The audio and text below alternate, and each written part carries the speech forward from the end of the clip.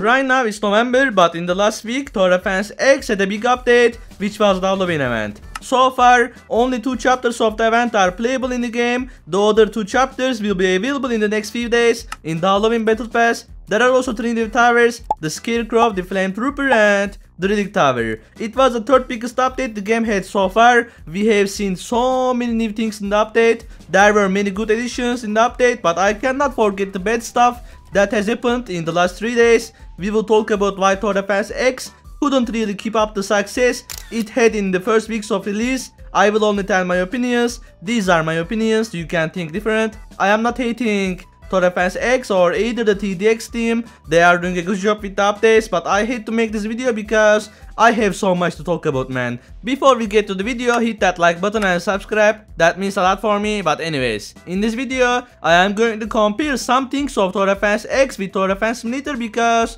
TDS also had the Halloween update the last night, which was the third night did release 2 days ago and it was pretty decent not gonna lie. I had a great time playing it. It kinda made the game have more concurrent players as you can see in the chart. There is a huge difference before and after the Halloween update.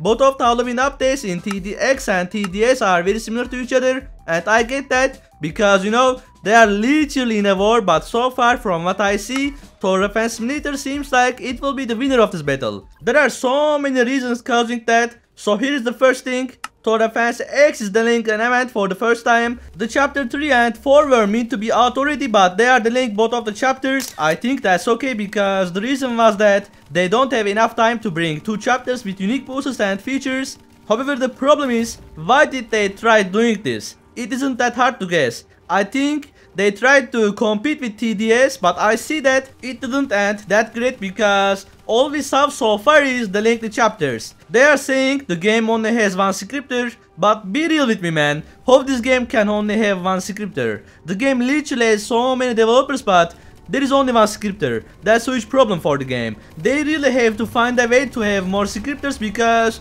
if they can get more, that means we will have bigger updates more regularly. That would help the game by a lot because I just don't think the Halloween update was that huge like how they were mentioning it. The owner of the game was saying this will be the biggest update. Of course we haven't seen the chapter 3 and 4 so far. They will be unique, they will be very difficult and there will be so many new features in them. But the problem is again, those are limited things. After 2 months they will be gone and the game will be the same again. There was something that I was expecting which was going to fix that. It was the nightmare maps. But you know, the nightmare maps didn't even release in the last month. They were meant to be out in September but yes, that never happened. It was something I was really excited for. I think the nightmare maps can release in this month or the next month, but I have no idea to be honest. By the way, I know that small delays can happen, it's normal, every game can have that and I don't really have any problem with it, we can wait man, it's not that deep. But the second part, the Halloween update is self entirely.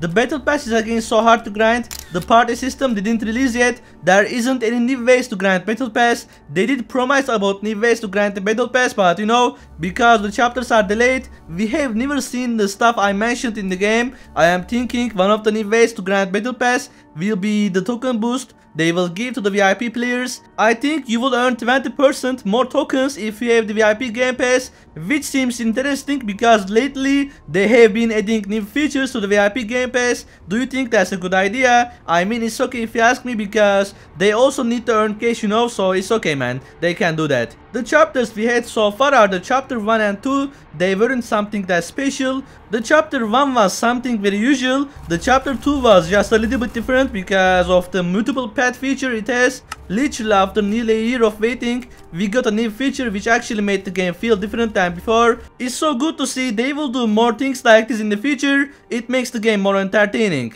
But the bad thing is, the game makes you have to grind 19,000 tokens just to get the relic tower, which will take you tens of hours of playing. The grind in the battle pass is just so difficult like the Tower Battles battle pass. I still think the Tower Battles battle pass was better than this one, at least the skins were great and not that random and even the towers were fantastic. They are the favorite towers of many people including me. The feeling of that tower is just awesome in my opinion. But we are literally talking about the towers. Let's get to the third part. The third subject we will talk about are the Battle Pass rewards. Are you sure that the new event towers are unique? The Scarecrow is from Tower Battles. The Flame Trooper is a tower every Tower Defense game has and the Relic Tower is the graveyard from Tower Battles. I feel like we have been getting every tower in Tower Battles added to the game. I wish we could see unique towers instead of that. Like in Defense Simulator, we saw some different towers. The Harvester and the Hollow Punk towers are really different. I was also expecting for TDX to do something like this, but we didn't really see any tower which is that unique. I mean the relic tower is fun to use but it's kinda outdated, I don't know man.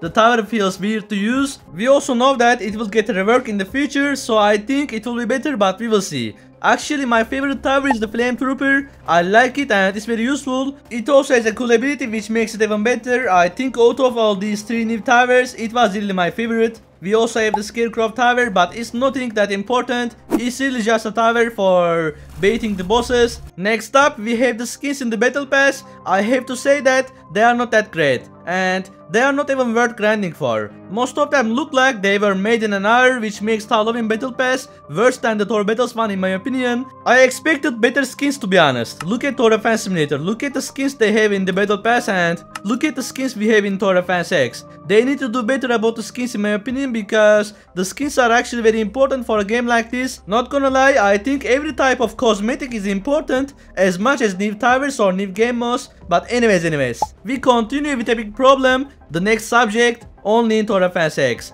Do you think that sentence is true? Let's look at the game. Was there that's only in Defense X? The game was adverse side with this sentence a year ago.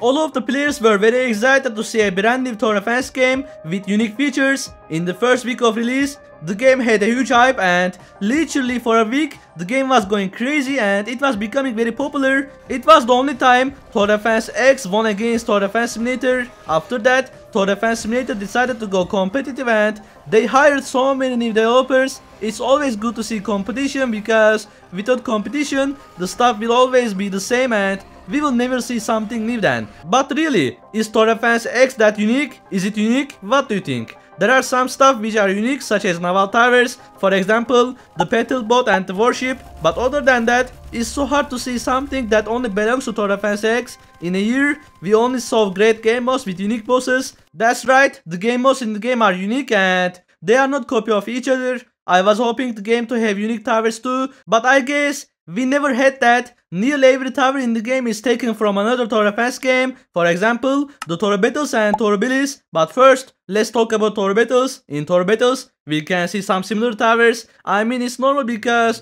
Tower Defense X and Tower Battles had a collab two times in this year, which is insane. They would of course take some stuff from Tower Battles and add it to Tower Defense X, but doing that same thing every update isn't that great. By that I am saying that they added some towers from Battles in the Battles event, but they are doing the same thing again with the Halloween update. The towers have different designs, but they are literally the same concept. I don't think the towers are unique. They never feel unique to me. I think only in Tower Defense X is really true, right? What do you think, man? But anyways, next up, we have something more interesting. We have a Tower Defense game, which was the best Tower Defense game 3 years ago, is Tower Blitz. The first Tower Defense game which had two passive upgrades on Roblox, Defense X took a huge inspiration from this game and most of the people have no idea about that. You should go and check some things in Tower Blitz and you can see there are literally so many things which are very similar, some towers, some features and so much more. Do you still think the sentence only in Tower Defense X is true?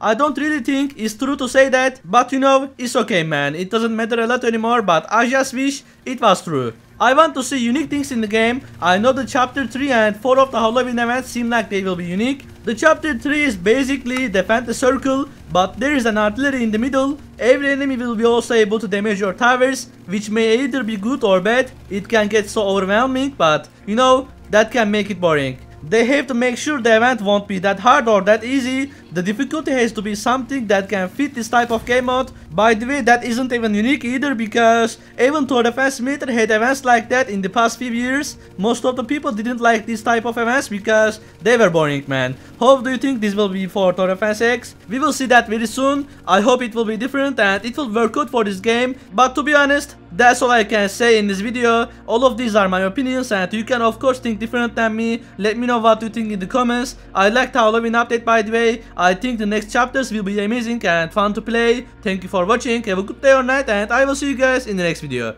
Take care.